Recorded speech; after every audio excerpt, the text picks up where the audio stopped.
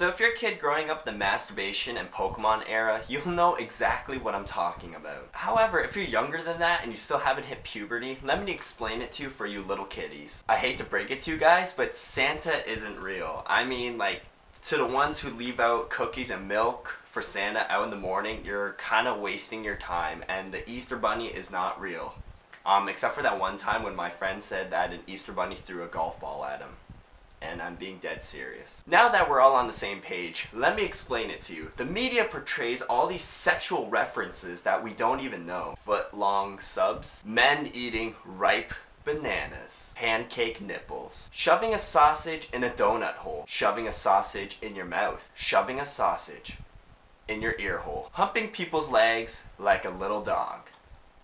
Actually, a dog's humped my leg before. So you get the picture. So when people say things like, it's so hard and big, what is the usual response that you get? That's what she said, motherfucker! Woo! Well, actually, people don't say motherfucker, but usually they just say that's what she said. Now you're questioning, what's up with, like, all these that's what she said jokes? If you seriously don't know what that's what she said jokes are, and you're still living right now, like, get get the hell out. Seriously, go out from under your rock and go exploring. Like, go, go out into the woods without any, like, compasses or tents or matches and just live out there.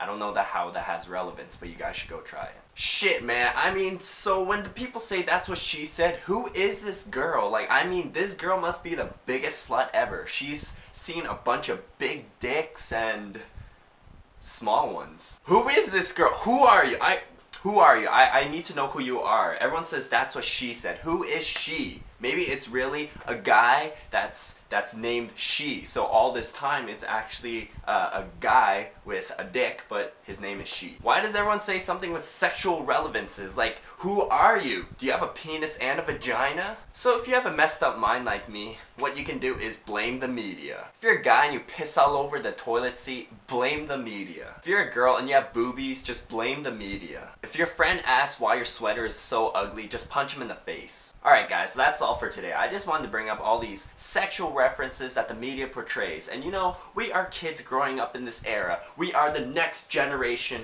of free porn sites and whatever the hell goes on in this world. So the question of the day for you guys is, what's the best that's what she said joke you guys ever heard? Like, one of the best ones I've heard was one of my friends said, it looks like there's two of them because it's so big.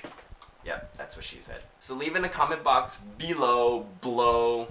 Wow, that was bad. But just leave a comment in the box below or leave a video response telling me your best that's what she said moment. Alright?